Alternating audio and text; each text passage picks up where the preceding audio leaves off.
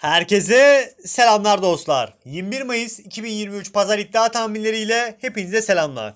Toplamda 10 adet mücadelem var. Hızlı bir anlatımla ideal ve yüksek oranlardan bahsedeceğim. Pazar bülteni çok güzel. Tam 10, 10 adet maçı 10 dakikada bitirmeyi düşünüyorum. Öncelikle bir adet maç skorumuz var. Cuma günü yapmış olduğumuz Lyon maç skorunu kazanan arkadaşımız Mustafa Güçlü. Instagram'dan yazabilir. Sizlere pazar günü için Manchester City ile Chelsea. Sizce maç skoru ne olur diye sizlere sorduk. Bilen bu sefer maç güzel olduğu için iki arkadaşımızı katı telegram gruplarımıza ekleyelim. Maç skorlarını yazmayı unutmayın. Aynı şekilde Mustafa arkadaşımız Instagram üzerinden iletişime geçsin. Aynı şekilde Mayıs ayı için katıl Telegram gruplarına vesaire katılmak isteyen veya soru sormak herkes soru sormak isteyen herkes Instagram üzerinden iletişime geçebilirler.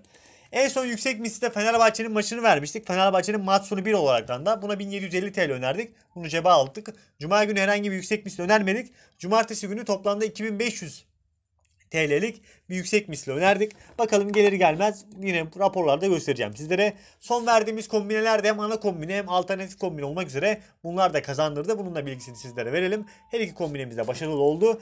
Canlılarda da baktığımız zaman da canlı maçlarla da aynı şekilde gruplarımızda hafta sonu zaten bülten çok yoğun olduğu için saat 13.30 gibi saat 1.30 gibi başlıyoruz.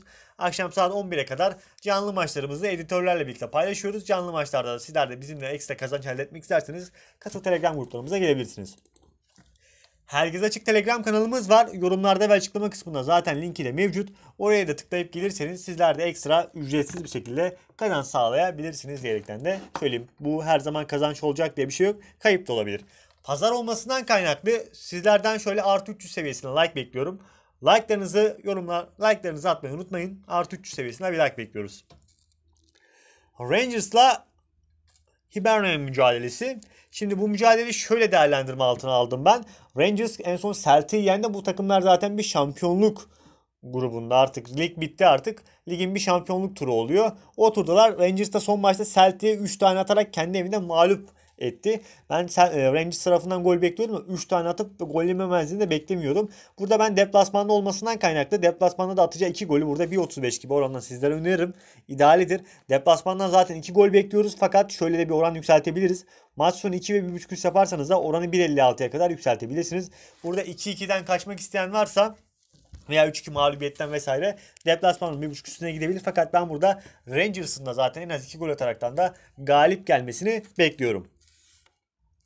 Walwijk ile Twente karşılaşması Walwijk için çok önemli bir mücadele. Çünkü Hereven'le birlikte bir 8.lik yarışı var. Ayrıca Hereven burada PSV deplasmana gidiyor. Evin golünü bir kere ben zaten kafayı yazdım ki kendi iç sahada Oynadığı 17 iç, iç saha maçında da tam 34 gol attı. Neredeyse maç başına 2 gol atan bir Walwijk takımı var. Twente deplasmanda çok fazla golcü bir takım değil fakat şunu söylemek lazım. Twente Walwijk'a göre, göre gerçekten daha kaliteli bir takım. Evinde golünü beklediğinden kaynaklı burada idealden bir 1.34 gibi orandan KG var seçeneğini sizlere sunuyorum. Değerlendirecekleri bol şanslar. Üçüncü mücadelem Çaykur Rizespor'la Altın Ordu. Bu maçın henüz daha e, oranları iddiada açık değil. Fakat Rize burada aldığı takdirde sanırım Süper Lig'e doğrudan geliyor. Aynen son mücadele berabere bile kalsa burada Rize Süper Lig'e geliyor. Henüz daha oranlar açık değil. Altın Ordu ile oynayacaklar. Altın Ordu'da sanırım bir küme mücadelesi veriyor burada. Fakat Altın Ordu'nun başkanı yaptığı açıklamalar şu yöndeydi. Ee, takımı sanırım satacaklar. Öyle bir mevzu var. Bu mücadelede ben gollü bir maç bekliyorum. Mücadele genelinde toplam gol 2.5 üst olarak bekliyorum. Henüz daha oran açık değil fakat idealden bence oran olacaktır. Değerlendirecekler. Bol şanslar. Diğer mücadele Brighton maçına baktığımız zaman da şöyle bir durum var. Brighton son hafta 4-1 gibi bir mağlubiyet aldı fakat 90'da 2 tane gol yedi. O 2-2'yi yakalayacağım diyerekten de mağlup oldular açıkçası. Burada Southampton'la oynayacaklar. iyi oynayan bir Brighton var. Ne olursa olsun aldıkları mağlubiyetler de galibiyetlere de baktığımız zaman da mağlup da olsalar iyi oynayan bir Brighton takımı var oynadıkları maçlarda iyi bir görüntü veriyor. O yüzden burada Brighton'ın zaten iddia henüz daha tam oranlarını açmamışken ilk yarıdan bir Brighton galibiyeti bekliyorum ben. İlk yarı birin oranı bir 43 gibi oranı var. İlk yarıdan da oradan bir Brighton galibiyeti çıkar diye düşünüyorum. Diğer mücadelem Atletico Madrid Osasuna karşılaşması. Atletico Madrid'in ikinci olma ihtimali var. Geçen hafta Elche'ye 1-0 mağlup oldu. Küme düşmüş bir takıma 19 puan var. Küme düşmesi kesinleşmiş olan bir takıma ikinciyle oynarken mağlup oldular. Orada bir dümen döndü muhtemelen. İyi de oynamadılar. Ben burada Atletico Madrid'in en az 2 gol ataraktan da galip gelmesini bekliyorum. Skor beklentim 2-1'lik bir Atletico Madrid. O yüzden burada hatta ev sahibi 1.5 üstü oranın biraz daha tatminkar olabilir. İdealden gidelim en azından. 90 dakika beklemeyelim. Ev sahibi ikinci golü attığı anda yeşillendirelim. Biz ev sahibinin atacağı iki golü ben bekliyorum. 2-1'lik bir net bir skor beklentim de mevcut. Manchester City ile Chelsea karşılaşması. Bu maçın da maç skorunu sizlere sorduk. Maç ne olur diyerekten de. Yine City alırsa muhtemelen bu, bugün Arsenal bir puan kaybı yaparsa City burada alırsa şampiyonluğunu ilan edecek. City çok moralli Chelsea ile oynayacaklar. Real Madrid daha yeni devirmişler bu takım. Chelsea mi deviremeyecek? Çok rahat devirir bence. Yine alınabilecek bir tercih varsa burada ilk yarıdan City galibiyeti idealden olarak bunu değerlendirebiliriz. Onun dışında yine 3-0 gibi bir skor çıkma ihtimali yüksek. Ev sahibi 2.5 üste baktığımız zaman da 1.75'te olan açmışlar. İsteyen sisteme atabilir. İşte bu ne olacağı belli olmaz. Her türlü atma ihtimali zaten yüksek. İdareden almak isteyenler ilk yarıdan bir galibiyeti alabilir. Adana Demir'le Beşiktaş. Maç skoru olur bunu sormadık sizlere. City'yi sormuştuk doğru. Şimdi bu maçta şöyle bir beklentim var benim. Adana tarafından gol mutlaka bekliyorum. Çünkü tempolu oynuyor ve ilk yarıdan çok fazla pozisyona girebilen bir takım maçta mutlaka çok pozisyonlu geçecektir diye düşünüyorum ben. Adana Demir de bu denliği giderken burada maçta da favori hatta onu da söyleyelim burada. Beşiktaş'a karşı galip gelme ihtimali de var. Benim burada beklentim gollü bir bera gollü olması yönünde 2-2 gibi bir skor beklentim var ama şöyle bir idealden bir tercih yapabiliriz. 2.5 üst ve var seçeneğinin burada 1.38 gibi oranı var. Hem var olur hem de mücadele bence üst olabilir. Onun dışında Adana'nın atacağı 2 gol, Beşiktaş'ın atacağı 2 gol olur mu bilmiyorum da Adana'nınki biraz daha yakın. 2-2'de bir skor çıkma, çıkma ihtimali yüksek bence. Güzel gollü bir mücadele geçer diye düşünüyorum.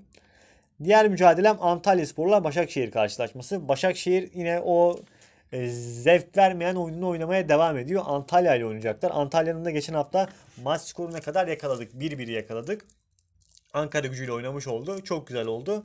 Mücadelede benim beklentim yine toplam gol aralığı olarak yüksek orandan almamızdır. 2-3 gol bandını alırsak burada 1.79 gibi orandan değerlendirme altına almış oluruz. Değerlendirecekler bu yönde bir değerlendirme yapabilirler. Diğer mücadelem ise Napoli ile Inter karşılaşması. Yine yüksek orandan aldığım bir karşılaşma. Napoli zaten şampiyon olduktan sonra şehri yaktılar adeta. Çok güzel bir kutlamalar çok güzel kutlamalar yaptılar ki televizyonlardan seyretme imkanı, sosyal medyadan takip etme fırsatımız oldu. Inter'le oynayacaklar. Inter, Inter'de Şampiyonlar Ligi finaline çıkmışken moralli şekilde buraya gelecektir. Mücadelede ben yine bir berabere bitme ihtimalini görüyorum ve bu beraberlik bir birlik beraberlik olur diye düşünüyorum. O yüzden toplam gol aralığı 2-3 golü ben burada sığdırdım mücadele genelinde. 1.78 gibi orandan değerlendirmesini yaptım. Yine mücadele yüksek olan beklentimde bir birlik bir skor olduğundan kaynaklı mücadele genelinde ben burada maç sonu sıfırında 1-1 gibi skorda gelmesini bekliyorum. 2-3 gol yüksek oranları. Sistem atacaksanız da 2.87'den bir beraberlik atabilirsiniz. Son mücadelem Paris'le Ögzer mücadelesi. Paris artık bu mücadeleyi yenerse sanırım şampiyonluğunu garantiliyor. Ben burada bir Paris galibiyeti bekliyorum. Burada şampiyon olur gibi geliyor. Son iki haftada artık dümenden oynar Paris. Klasik. Burada da ben bir buçuk üstüne iki yaparsanız bir 35 gibi olandan ideal kombinlere girebilecek bir karşılaşma olarak görüyorum. Burada da Paris'in burada deplasmanda 60, 60 atacak olacağı 2 gol e, birlikte gelecek galibiyet 1.35. Oranı biraz daha yükseltmek isteyen varsa Ögzer'e karşı ben 3. golle gelme ihtimali yüksek.